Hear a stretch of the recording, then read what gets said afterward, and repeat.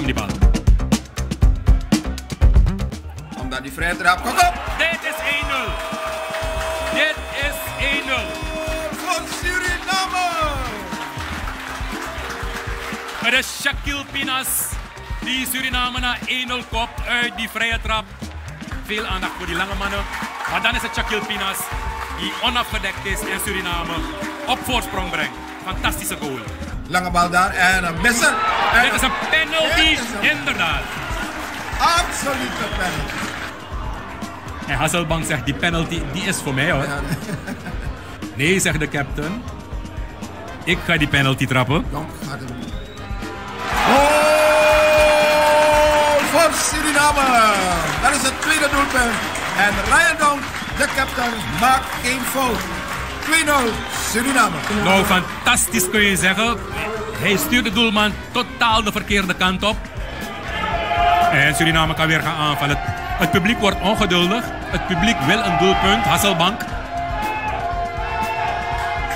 Pinas verliest die bal. Nu moeten ze vechten voor eh, balwinst.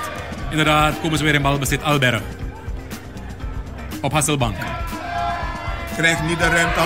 En nu is het eindelijk dat doelpunt. Het is Cleofilo Vleiter die tot scoren komt. Hier heeft Suriname lang op gewacht in deze tweede helft. Cleofilo Vleiter brengt Suriname op 3-0. Wat een ontlading van deze jonge voetballer. Ja, dat moet het dan eh, zijn geweest. Suriname wint hier met 3 tegen 0 van Cayman Island. De ruststand was eh, 2-0. Doelpunt van uh, Shaquille Pinas 1-0. Donk uit de penalty 2-0. En het derde doelpunt. Ja, daar kwam de Suriname over de Vleiter. Die scoorde het derde, derde doelpunt. En Suriname wint dus eh, met 3-0. Het is, een, het is een goede testcase, het is een goede generale repetitie geweest voor de komende wedstrijden. We spelen zaterdag uit tegen de ploeg van eh, Aruba in de Verenigde Staten van Amerika.